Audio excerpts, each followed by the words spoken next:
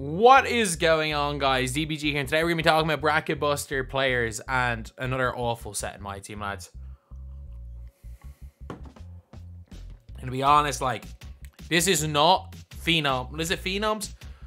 What was the set called again? The really bad one. What was the really bad one with Dirk called again? I remember Phenoms was last year. Whatever the awful set with Dirk was, is the worst set we've ever had in my team. A close second. Is a very close second. So, Maestro. It's a close second to Maestro. You've got 100 overall Magic Johnson, who no one's ever going to get. You've got Dark Matter Carmelo Anthony and Dark Matter Adam Morrison. Who are both going to be great cards, don't get me wrong, but like, who really cares? Then my favorite, one of my favorite players of all time. Tyler Hansbrough. I can't get him. Do we not remember last year? Do we not remember last year, like,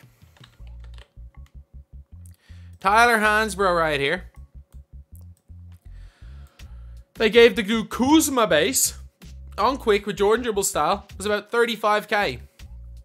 If we remember 2K22, when we actually had a good bracket buster set. Sorry, wrong thing. 2000 MT. And the set is, this, this card art is disgusting, by the way. It's, first of all, it's, co it's copied and pasted from two years ago. And it was terrible card art two years ago. Like, at least just put a bracket there. This looks awful. Like, it looked awful two years ago. If you look back at any of my videos from two years ago, I'll say it looks awful now. But, who gives a damn? Who gives a damn? So the other opals are Danny Ferry. Oh, a 2K legend we can't use anymore. Shane Battier. Brilliant cheap budget card earlier in the year. Can't use them. Brandon Miller. Who gives a damn? And our pink diamonds are Kirk Hinrich. Kirk Heinrich. We don't know what Kirk Heinrich comes with. Because he's not in the game. Let's see what Kirk Heinrich had on, as default. Will start. Uh, this is actually a pretty good release by default. And he's on the all-time Bulls, I guess. Um, Kirk Heinrich mightn't be that bad because he is a 6'4 point guard who's going to have god tier defense. He might be like your Jason Kidd type player. We have Joakim Noah. We have Noah. So this year, Noah has had a card in season one. Default small Robert Covington. That's actually not a bad release. Uh, it's Vlade. It's not that bad. Which is a shock. It's not actually that bad a release.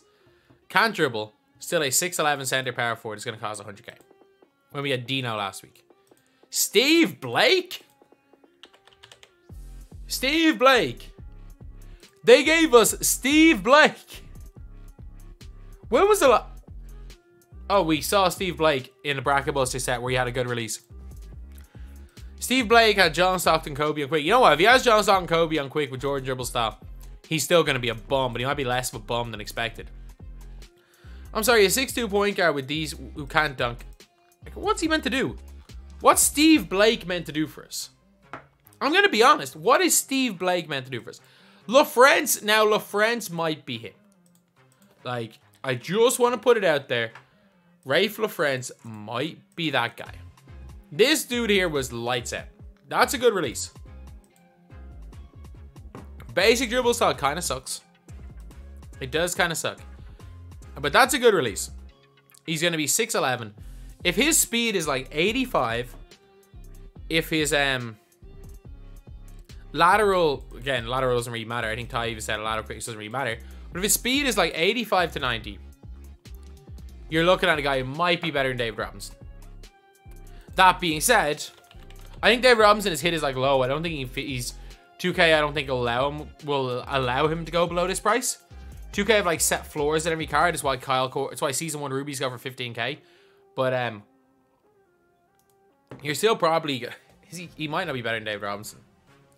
Like it's actually annoying how good this card is in hindsight. Like just how much better he is than everybody. Like he has potential to be pretty decent. He has potential to be pretty decent. George is Niang. We're getting five cards that aren't gambling cards, and one of them is Georges Niang. The guy who everybody keeps thinking they can beat in a 1v1. They obviously can't. on a positive, he gets his own release on quick. On a positive, man gets his own release on quick. And at least, at least we get, if you're wondering where your our Laettner is, our Laettner's here. Easter event's pretty good, and I'll talk about that in another video, but at least you got a free Laettner. gotta have friends to get your free Laettner, though. You do have to get have to have friends, but you can get through 50 games of TT offline very, very, or of co-op very quickly. Um, yeah, that's um, that is one not awful thing, I guess. Um, but yeah, it's a terrible set. Like, ain't else you getting co-op. You get a shattered piece for Pink Diamond Evox. Who gives a damn? It's a piece for a Pink Diamond Center. Um, All Star 10 base pack box. Oh, you're not getting 18 on that, and I'm getting it's probably unauctionable as well. Um, either way, sets not it's, it's not really worth doing.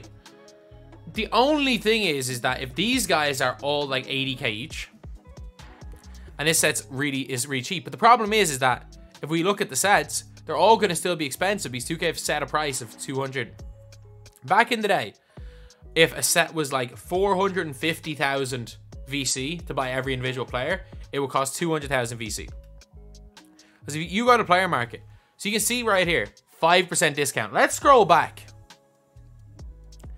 There's a six, 50%, 50%, 64% discount, 12% discount.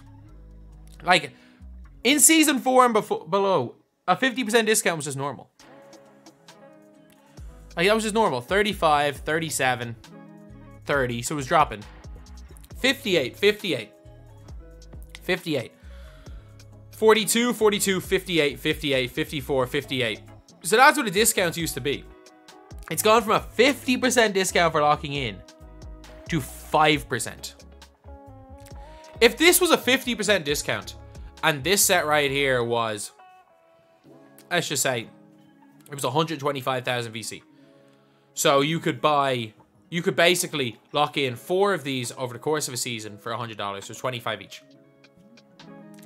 It would be a bit expensive, but still, like, definitely a bit expensive, but like $25 is a lot more reasonable than $60. They're more than $50, and that's the way the price has gone. That is the way it's gone. It's just like, it's crazy. And you might be saying, oh, but you only have to lock in five of these. See, last week, um,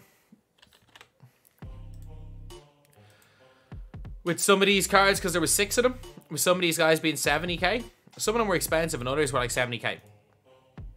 All of these guys are likely to be over 100k. And yeah, you're probably going to get somebody good for locking in here. Like, I don't think these cards are bad, if we're being honest. Um, Shane Battier might be great, but like, it's just not worth it. It's not going to be worth it when we see, when it flashes up in the, uh, in the blog next week, all Season 5 Galaxy Opals are going to be in the player market. That's going to happen. So I wouldn't lock in. I'd hoard MT, if we're being honest. Oh, another day, another awful set.